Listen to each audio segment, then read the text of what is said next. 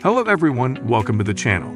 From today onward, we'll embark on the adventures to unveil the secrets of thermal cameras and discover the truth behind them. In today's video, we're diving into the fascinating world of infrared radiation.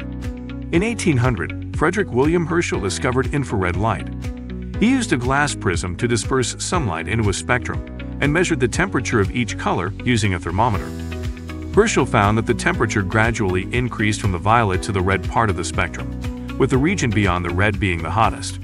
This area, invisible to the human eye, was identified as a new type of radiation, which he called heating rays. Today we know this as infrared radiation. Infrared radiation is the band in the electromagnetic spectrum with wavelengths just beyond red visible light, ranging from 780 nanometers to 1 millimeter.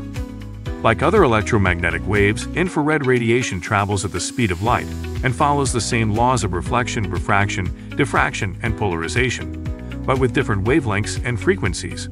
Although invisible to the human eye, infrared radiation plays a crucial role in our daily lives. All objects in nature with a temperature of absolute zero emit infrared rays. This form of radiation is essentially thermal radiation, a type of electromagnetic wave produced by the thermal motion of molecules within matter. Since all objects emit infrared rays, thermal cameras can detect heat, making them invaluable for a wide range of applications, including industrial inspection, outdoor hunting, medical diagnostics, forest fire prevention, and law enforcement, etc. Stay tuned as we explore more about how thermal cameras work and their incredible uses. Don't forget to like, subscribe, and hit the bell icon for updates on our latest videos. Thanks for watching, and see you next time.